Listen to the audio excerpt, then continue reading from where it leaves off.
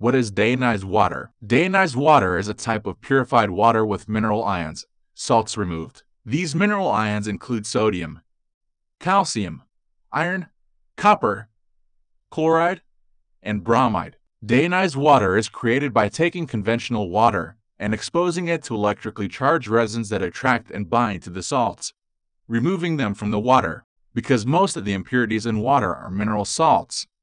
Deionized water is mostly pure, but it does still contain numerous bacteria and viruses, which have no charge and therefore are not attracted to the electrified resins.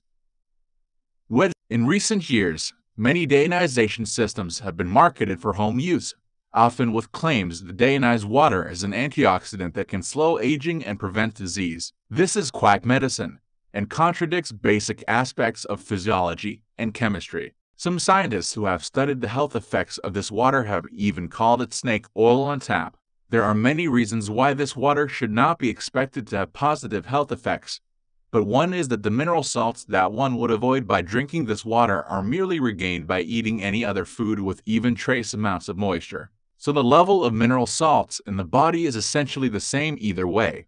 Many of the mineral salts are essential nutrients, and some scientists even say that drinking unpurified water provides us with significant portions of our daily values of these nutrients. Despite its uselessness for improving health, deionized water has many applications, most of them scientific or industrial. Deionized water is used extensively in microbiology experiments as a medium. This water is also cooked in an autoclave prior to use, which kills off all bacteria or viruses it is used to top up lead-acid batteries used in cars and trucks, as mineral ions found in tap water drastically reduce their lifespan. It is used for steam irons used on clothing, ensuring well-ironed clothes without any chance of mineral residue. Deionized water is also used as a medium or additive in many pharmaceutical or cosmetic products, desired for its low chemical reactivity.